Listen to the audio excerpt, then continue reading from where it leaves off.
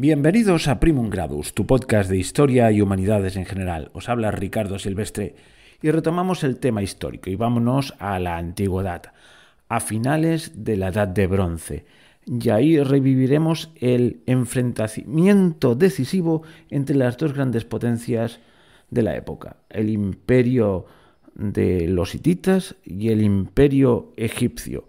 La causa de conflicto era el dominio del llamado levante mediterráneo, es decir, de la zona que va desde el sur de Turquía hasta, hasta el Sinaí, es decir, lo que es el actual Líbano, el sur de Siria, la tierra de Canaán, es decir, Israel, y el paso de las caravanas con los productos preciosos de Asia.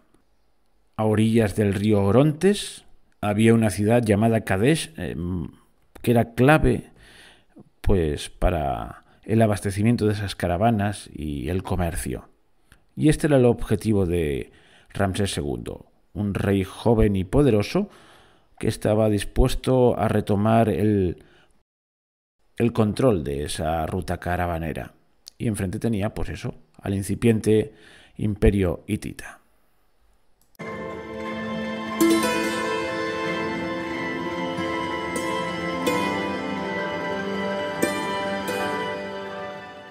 Vamos a hablar de la primera batalla profusamente documentada de la que se tiene noticia. Algunos dirán que ya hay batallas anteriores, por ejemplo, eh, narradas en los anales de Mesopotamia, pero más bien hablaban de pequeñas reyertas fronterizas. Esto no, esto es una guerra, una guerra con dos ejércitos contundentes, con miles de soldados, con miles de carros, carros de combate que era el arma privilegiada de la época y se produjo allá por el año 1300, aproximadamente antes de Cristo, por supuesto. Hay alguna controversia con respecto a la fecha. Y esto ocurría eh, ya eh, a finales de lo que se ha dado ya en llamar la Edad de Bronce, aunque ya empezaba a aparecer el hierro, pero no estaba generalizado su uso militar. Y se da entre las dos grandes potencias de Oriente Medio de entonces, que son Egipto y el Imperio Hitita, entre Ramsés II y Muwatalli, rey de Hatti o de los hititas. La versión oficial que ha corrido durante cientos, no sé si cientos de años, pero unas cuantas décadas sí es que fue una victoria egipcia. Hoy más bien la gente se inclina por lo contrario, que fue una victoria hitita. Pero una victoria que podíamos calificar de pírrica. Ya sabéis que ese adjetivo se pone a aquellas victorias que no son decisivas y que a la larga pues no sirven para nada. Y eso viene de aquel general Pirro del Epiro, un brillante militar que apareció en la península itálica y fue venciendo una y otra vez a los romanos. Al final se tuvo que retirar porque ninguna batalla fue decisiva y cada vez estaba más debilitado. Vamos, que sus victorias no sirvieron para nada. A la larga no sirvieron para nada. Pues lo mismo puede decirse de, esta batalla. Digamos que el, faraón Ramsés no consiguió su objetivo, pero los hititas tampoco consiguieron la victoria definitiva. Al cabo de unos cuantos cientos de años, eh, el imperio hitita desaparecía, mientras que Egipto continuaba como una gran potencia. De ahí lo de victoria pírrica. Y hemos dicho que durante muchos años se ha tenido como una victoria egipcia. Bueno, ¿cuál es la razón? Pues muy sencillo. Pues el uso de la propaganda política descarada. Eh, la gran noticia sobre esta batalla se tuvo en principio por una fuente egipcia. De, realmente la mayor parte de las fuentes son egipcias. Y una de ellas es el poema de Pentaur que estaba labrado en la pared de del yacimiento de Karnak. Y ahí narra, pues eso, la victoria del faraón, el solito, contra los hititas. El solito acompañados con unos soldados que no sé, que estaban ahí para hacerle compañía. Otra fuente de información también importante es el boletín, el, el informe militar de la batalla, el boletín de guerra, que se encuentra muy bien conservado y del cual hay siete copias en forma de bajorrelieves junto al poema antes mencionado y está, en, como no, esculpido en algunos templos antiguos. Bueno, partiendo de esas fuentes egipcias, pues fue una victoria egipcia, pero no una victoria sin más, sino una victoria contundente, que vamos, que el que Mawatili, el rey de los hititas, le tuvo que pedir perdón de rodillas, pero no fue así. De, hecho, después hubo una serie de tratados en que demuestran que ambas potencias se miraban de tú a tú como, como a iguales, como se miran entre sí iguales en potencia. Entonces, como el tema da mucho de sí y he querido citar fuentes. Empezaré citando la fuente del poema de Pentaur y la comentaré un poquito.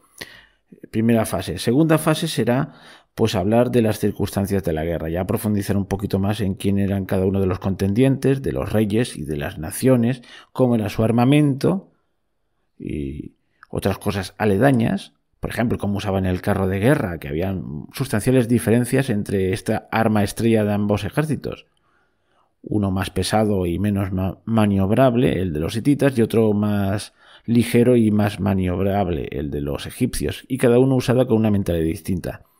Bueno, después de hablar de todo esto y de cómo se llega a esta guerra, pasaremos a la batalla en sí, al desarrollo de la batalla en sí, que tiene poco que ver con lo que eh, se cuenta en este poema de Pentaur. Entonces, para empezar, pues hablaremos del poema y lo iremos mm, desglosando o parafraseando no todo entero, sino buena parte de él, para que nos familiaricemos con estas fuentes antiguas y veamos eh, las conclusiones que podemos sacar y dónde está lo verdadero, dónde está lo falso, la fantasía y qué información podemos sacar de ello. Esto formará parte del primer capítulo de esta serie, que ya os digo, será tres capítulos. Primero este, cotejar la fuente, una de las fuentes principales, el poema de Pentaur, eh, el siguiente capítulo será ver las circunstancias que llevan a la guerra y analizar la composición de cada ejército. Y ya el capítulo final, el tercero, será pues narrar la batalla como se supone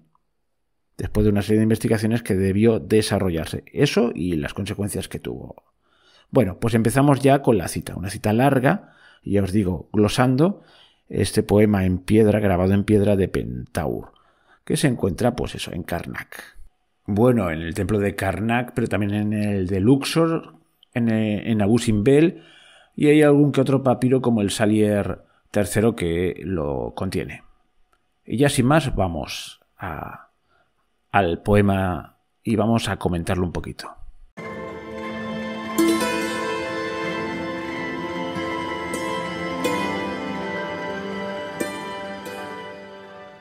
Así empieza la victoria del rey del Alto y Bajo Egipto. Desde el primer párrafo ya, o mejor dicho verso, porque es un poema, desde la primera estrofa ya hay un spoiler claro, ya se sabe quién es el vencedor. Por cierto, aclaro una cosa que al principio no se ve muy bien, pero conforme va avanzando el poema se ve cada vez más claro. Esto está escrito en primera persona, Resulta que lo ha escrito teóricamente el propio faraón. Digo teóricamente porque seguro se lo encargó un escriba. Con lo cual las cosas resultarán un poco, vamos a ser eh, generosos, un poco grotescas, por lo menos vistos desde nuestra, desde nuestra visión occidental y del siglo XXI, y poco cómicas. Su Majestad era un señor pleno de juventud, activo, sus miembros potentes, su corazón vigoroso, su fuerza como la de Montu. Perfecto de aspecto como Atum, era regocijante ver su belleza, grandes victorias. Todas estas frases tan encomiásticas están al principio del texto, sabiendo que pretenden hacerlas pasar por palabras del propio faraón pues nos dan un poco de vergüenza ajena, ¿verdad? Pero este es el tono general de la narración. Pasemos más adelante. Era un sólido muro para su ejército, su escudo el día del combate, un arquero sin igual, es más valiente que centenas reunidas, como el fuego en el momento que se consume un millón de hombres son incapaces de permanecer de pie delante de él, ignorando el pavor, como un león salvaje en el valle de los animales del desierto. No habla como un jactancioso. Bueno, ya vemos que era lo más, era lo que hoy sería un superhéroe de Marvel. Y, en fin, menos mal que no hablaba en tono jactancioso, porque al fin y al cabo todo era verdad, es humilde, y la humildad es estar en la verdad, etcétera, etcétera. Bueno, pasamos esta zona así un poco pantanosa y vamos a adentrarnos en unos momentos en los que, con su peculiar estilo, pues nos dice cosas que son históricamente comprobables, vamos, que pueden ser ciertas y que casi seguro que fuesen así. Esto es, vamos a por los datos históricos que tenemos que recoger de este enredo, pues con mucho cuidado. Cuando Su Majestad tuvo su infantería preparada, sus carros y los Shardana de las capturas de Su Majestad, que ha traído con la victoria de sus brazos vigorosos, y el plan de batalla le fue confiado, Su Majestad partió en dirección al norte e hizo una buena partida en el quinto año, el segundo mes de la estación de verano, el noveno día. Bueno, aquí ya sacamos datos más creíbles. Primero, cuando habla del quinto año, ¿qué quinto año? El quinto año de su reinado. Por aquella época Ramsés tendría unos 25 años, llevaba reinando pues esos 5 años. Era un rey joven e impetuoso, y como vemos muy humilde. En fin, y cuando habla de los Shardana, que son esos Shardana que ha conseguido con sus vigorosos brazos, él solito, ¿eh? sin nadie más. Pues los Shardana eran las tropas auxiliares, importantes eso sí, que estaban formadas por los pueblos piratas del mar que el faraón había derrotado cuando, atacaban Egipto. Digamos que los derrotó y en vez de pasarlos a cuchillo, como veían que eran guerreros eficaces, decidió incorporarlos a su ejército. Y bueno, dice que parte hacia el norte en el segundo mes de verano, día noveno. Que nos quede la idea de que era por el verano. Y hacia el norte, eso es evidente, que tiene que ir hacia el norte, porque Kadesh nos queda al norte. Siria está al norte de Egipto. Bueno, vamos a continuar con el relato, con el relato entre comillas creíble de todo esto.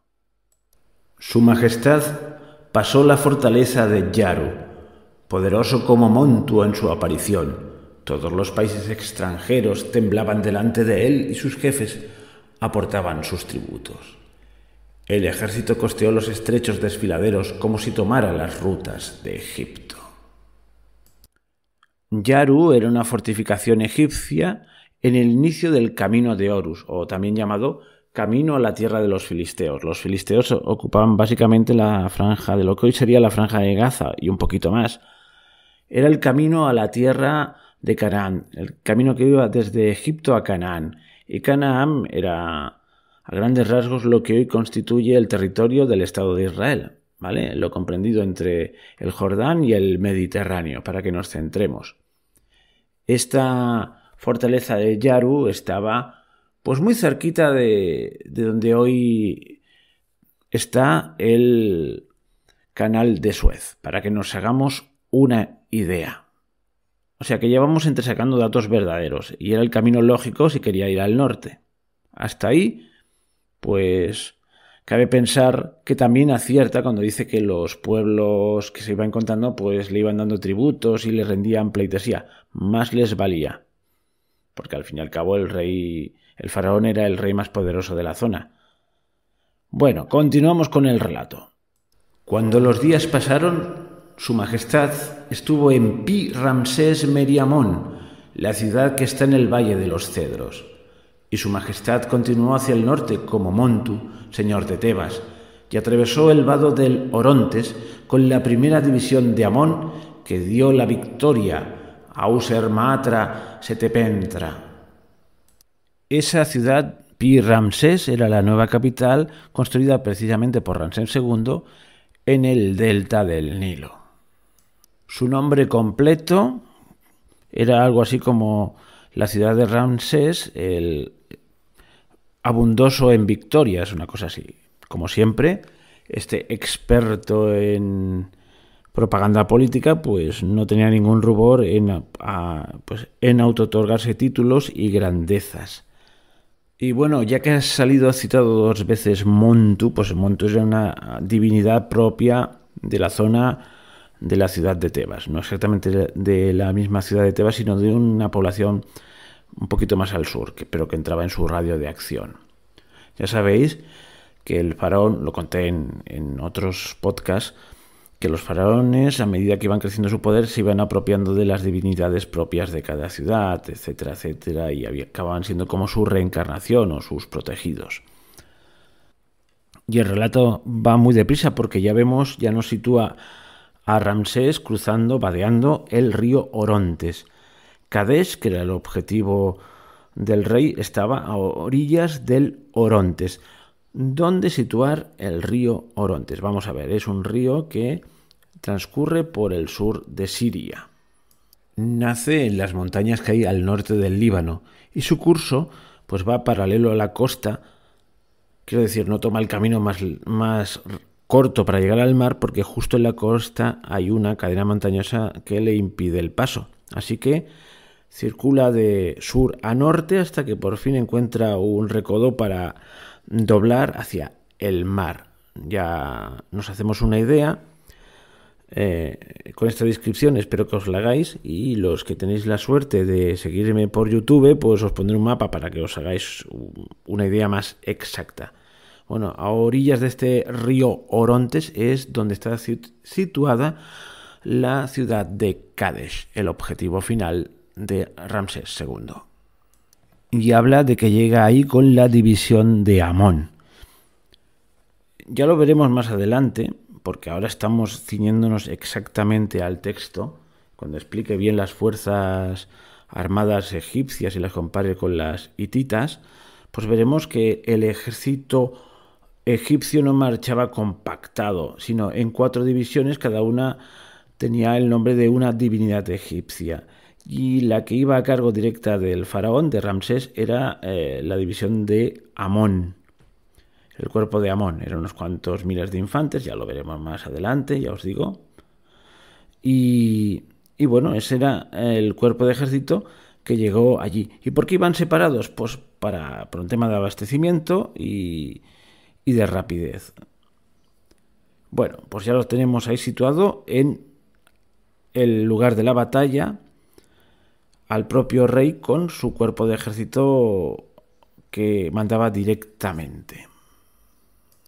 Su Majestad llegó a la ciudad de Kadesh, y mientras el vil vencido de Kadesh había llegado y reunido a todos los países extranjeros hasta los confines del mar, la tierra entera de Hati había llegado, igual que la de Naharina, Arzawa, Dardani, la de Keshkesh, de Masa de Pidasa, la de Arwen, las de Carquisha, Luca, Kizowanda, Carquemish, Ucariz, Cadi, toda la tierra de Nouskashe, Moushanet y Kadesh. No dejó abstenerse a ningún país ni aun los más lejanos, y sus jefes estaban con él. Cada hombre con su infantería y sus carros superaba cada uno cualquier límite. Corrían por montañas y valles eran como langostas, debido a su multitud. Aquí nombran al vil vencido de Kadesh, que no es otro que el rey Mutawili, que no tiene nombre propio en ninguna parte del, del poema este. Y aquí nos dicen cosas exageradas, hiperbólicas, como siempre, que son como una plaga de langostas, son numerosísimos, bueno, serían muchos para la época, ¿eh? Ya os lo adelanto. Y dice que el mundo entero se había movilizado, bueno, los que pudo movilizar, pero en eso tiene razón todos los aliados de los hititas, que eran numerosos, aliados mm, no precisamente voluntarios, sino todos los pueblos sometidos o clientes, pues habían sido llamados a la acción contra tan poderoso enemigo como era el Egipto de la época. Así que tiene razón en esta apreciación, aunque ya sabéis que las ponderaciones y los ditirambos pues son los propios del estilo. Eran muchos y efectivamente ahí estaban no solo los hititas, sino sus pueblos, llamémosle, aliados.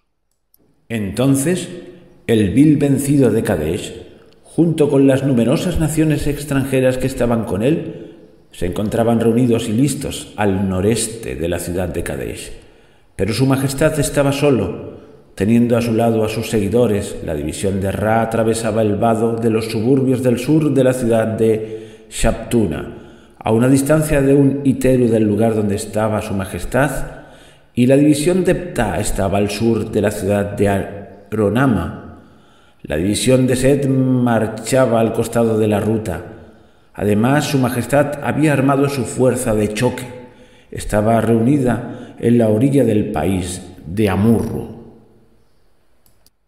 Aquí nombra otras divisiones. Ya sabemos que con el faraón iba Amón. Luego habla de la división de Ra, Apta. Eh, era lo que os había dicho de que cada una de estas fuerzas en las que se dividía el total del ejército llevaba el nombre de una divinidad.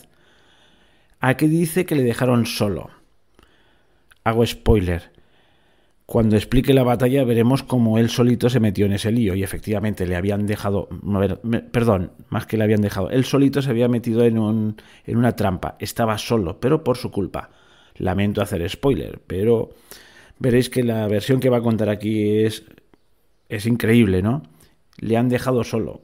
No, se metió él solo en el lío por ir demasiado precipitadamente pero nos quedamos con el hecho. Aquí ya he nombrado las distintas eh, divisiones del ejército, división de Amó, de Ra, de Epta. Bueno, para que veáis que entre las fábulas se puede sacar algo de la realidad. Pero vemos que está en una situación apurada. Y vamos a ver cómo sale de esa situación apurada. Digo apurada porque está solo y está rodeado de enemigos, ¿vale? Lo dice así de una manera muy poco clara, pero así fue. Pero el vil vencido, jefe de Hati, se encontraba en medio de su ejército que estaba con él, pero que no vino para combatir, de miedo a su majestad. Está claro que no hubo un enfrentamiento directo con el rey de Hati, de los hititas, porque, claro, le tenía miedo a la majestad del faraón.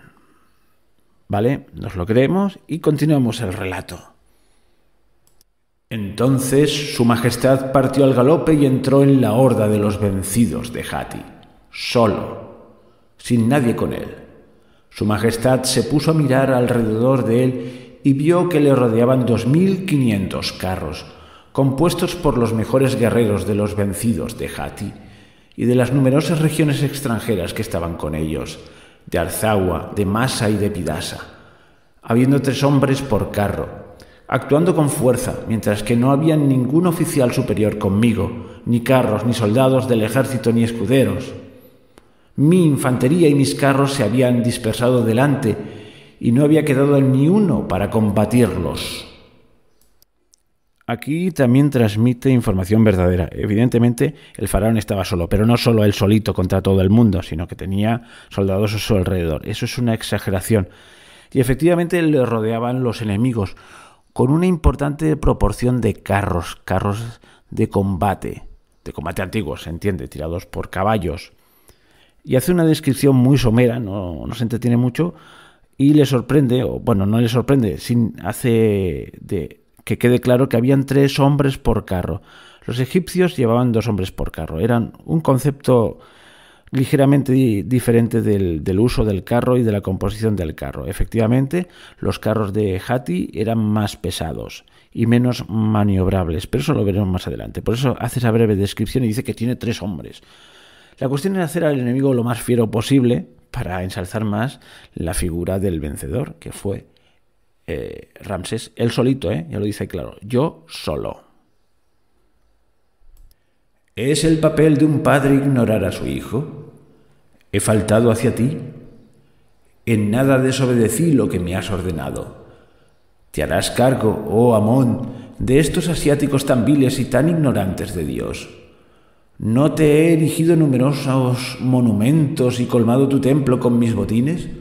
¿No construí para ti mi casa de millones de años?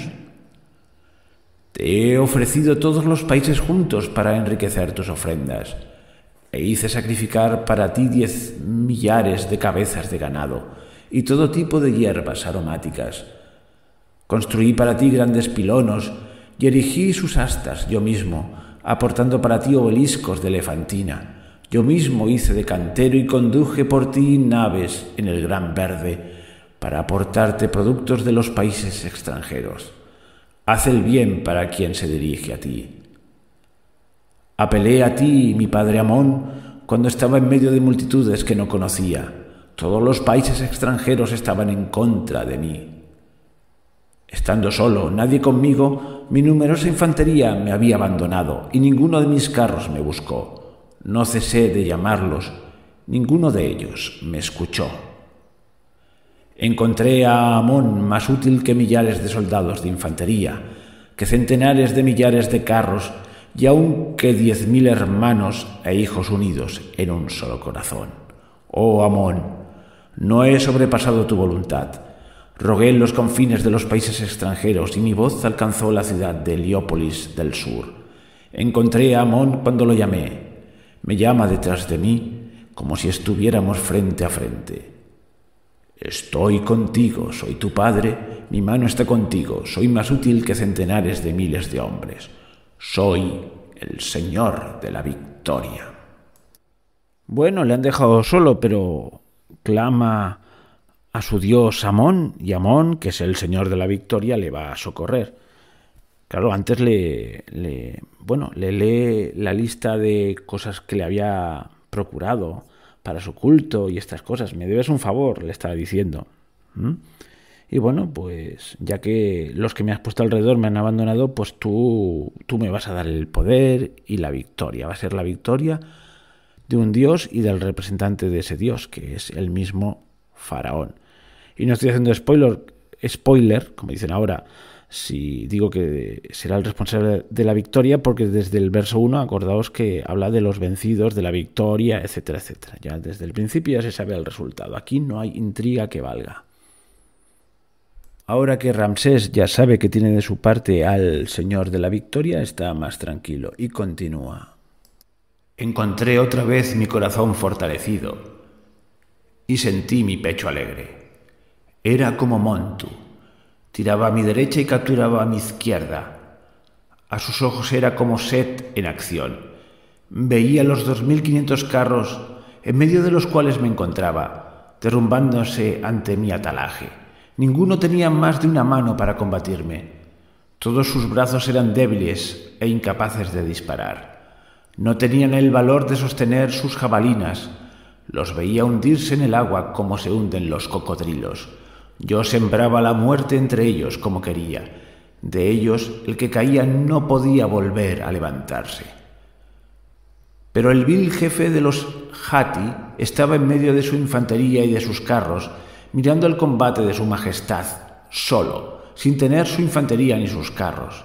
Hizo venir a numerosos jefes, cada uno con sus carros equipados con sus armas de guerra. El jefe de Arzagua, el de Luca, el de Dardani, el de Carquemis, el jefe de Carquisha, el de Alepo y a sus hermanos reunidos en un lugar. Su total eran mil carros que se precipitaron en el combate.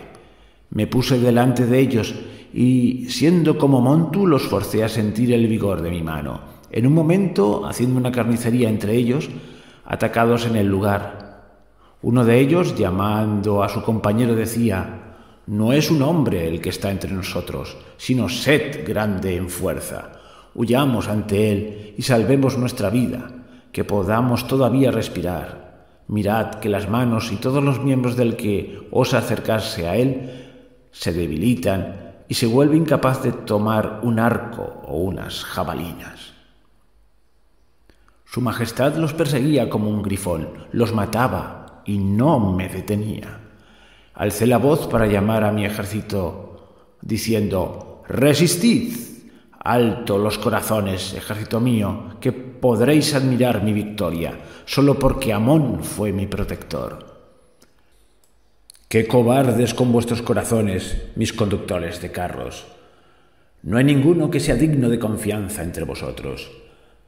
¿Hay alguno entre vosotros para el que no haya hecho una buena acción? ¿No aparecí como Señor cuando erais pobres? Os hice oficiales superiores en virtud de mi buen hacer.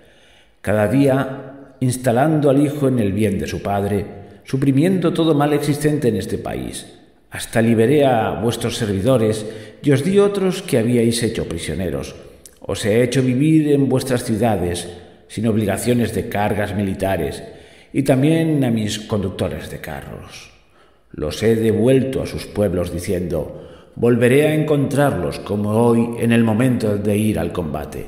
Pero mirad, ni un hombre quedó entre vosotros para tenderme la mano cuando combatía. El crimen que mi infantería y mis carros han cometido es mayor de lo que se puede decir. ¿Veis? Amón me ha dado la victoria, mientras ninguna infantería y ningún carro estaba conmigo. Estaba solo, ningún oficial superior me siguió, ningún conductor de carro, ningún soldado de mi, ejército, ningún capitán. Los países extranjeros que me observaron pronunciaron mi nombre tan lejos como las comarcas desconocidas. A todos los que apuntan en mi dirección se les desvían las flechas en el momento de alcanzarme. Luego, cuando la infantería y mis carros comprobaron que yo era como Montu, que mi brazo era poderoso y que Amón mi padre estaba conmigo, permitiéndome despedazar a los países extranjeros, entonces empezaron a volver al campo para pasar la noche, en el momento del atardecer, y encontraron a todos los países extranjeros en los que yo había entrado, yaciendo en su sangre, hasta los valientes guerreros del país de Hati, hasta los hijos y los hermanos de su jefe. Entonces mi ejército empezó a alabarme. Mis oficiales superiores empezaron a magnificar mi brazo poderoso y mis conductores de carros, orgullosos de mi reputación, declararon, ¡Qué excelente guerrero que reanima el corazón! Tú has salvado a tu infantería y a tus carros. Tú eres el hijo de Amón. Tú has devastado el país de Hati con tu brazo poderoso. Un rey combate por su ejército el día del combate. Eres grande en victorias en presencia de tu ejército, frente a todo el país, sin jactarte, protegiendo Egipto y doblegando a los países extranjeros. Has quebrantado la espalda de Hati para siempre.